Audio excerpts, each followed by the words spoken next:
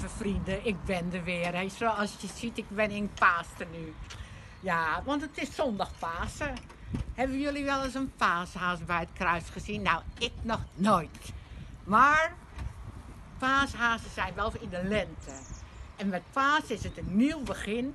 Dus ook de lente doet daar aan mee. Kijk, en dan gaan we het eens even leuk neerzetten. Want we hebben nou geen closetpapier. We hebben nou een paashaas, maar die valt natuurlijk om. We hier een paashaas, daar een kussen. Oh, deze is leuker. Wie gaat jullie groeten? Kom. En dan gaan we beginnen vandaag. Oh, mijn horloge valt af. Zo. Vandaag gaan we beginnen met een cooling down. We hebben natuurlijk al heel veel gedaan. Maar nu gaan we proberen in een slow motion. We gaan de stille week in. Dus we gaan alles rustig doen. We beginnen met de eierloop. Zien jullie de eieren liggen?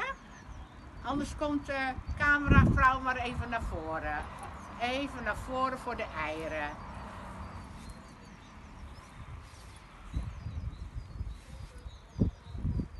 Je zit in je schaduw. Kijk, Ja.